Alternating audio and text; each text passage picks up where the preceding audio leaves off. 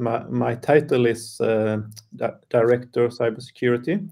Uh, many many people think that I have a CISO role, uh, and it's not it's not far from it. But I don't I don't have uh, I mean I don't operate IT systems or things like that. My my entire focus is on Axis developing as secure devices and as secure software from a cybersecurity perspective. So I am I am I am active in the uh, research and development phase of uh, of uh, of Axis, and then usually CISOs they take the devices and the systems and then they run it in a cyber secure way. That that would be my explanation.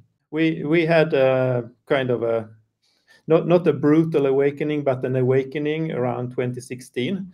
Uh, at, at, that time, a, there was a researcher, a friendly researcher, who went under the name Bashis.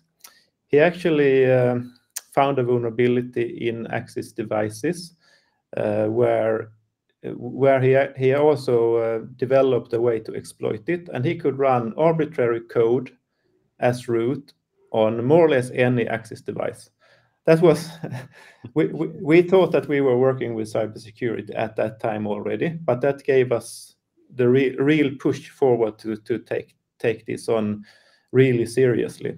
Uh, actually, Bashis, he started to to work with us recently. uh, seven seven years later, he's an employee of Axis, which is which is great. um, so we, we started to develop uh, a, a, security development model that we internally called Axis Security Development Model.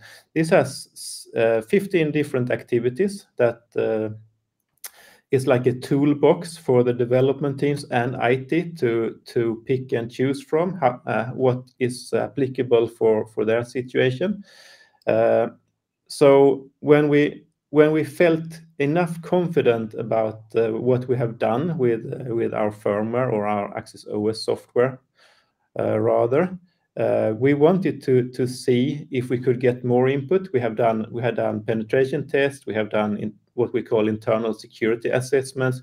We had done threat modeling uh, and more, or less what we could do internally. So we wanted to see how can we get help from uh, from friendly researchers to actually actually test our uh, our software really good and uh, and awarding them. Because if we go back to to Bashis, for example, we didn't have any any way of awarding friendly researchers. We only we only had a Hall of Fame on on our uh, on Axis.com, which is not which is good, but it's not it's not great.